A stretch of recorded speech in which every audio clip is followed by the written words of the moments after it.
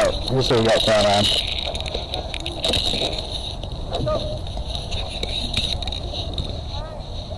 Got the uh,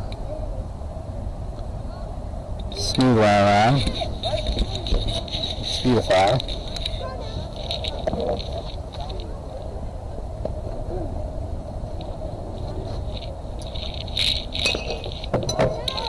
And it's gone into this GL on Got Ethernet going into this Seago. That's my T-Mobile net. I got two phones tethered, iPhones, one on Verizon, one on AT&T.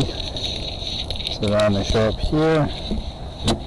This is my AT&T signal, this is my Verizon signal, this is my T-Mobile signal. I'll do a screenshot because I don't expect you to be able to see that.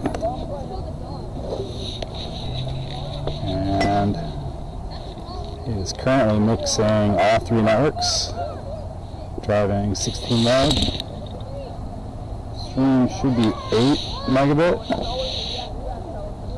but shows zero drops and 60 FPS, which is a new stability record for Fort Scott. Uh, other stuff, we got watts.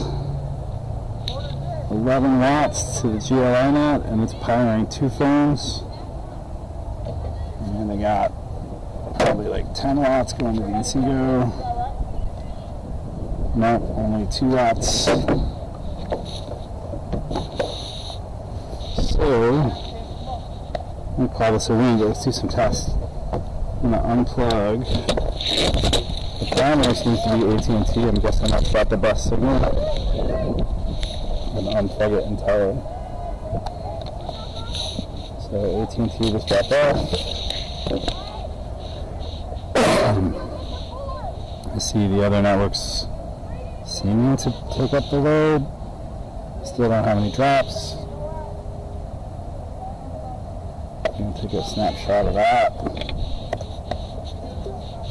Gonna plug AT&T back in. See if it picks up.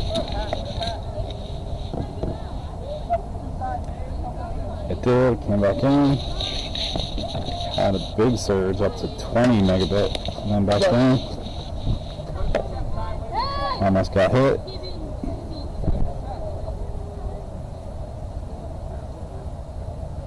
So that's looking awesome. Actually, I unplugged AT&T, but I think my primary might have been Verizon. So I'm going to pull Verizon. Pull that one off. Just pop it off. So now that one's disconnected.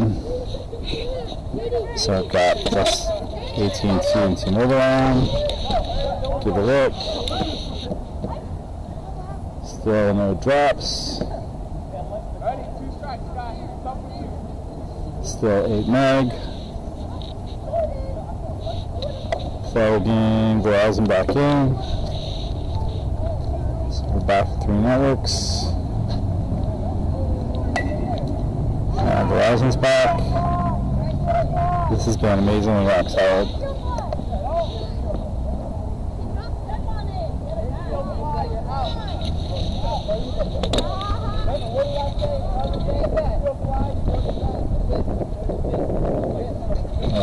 Disconnect one more network.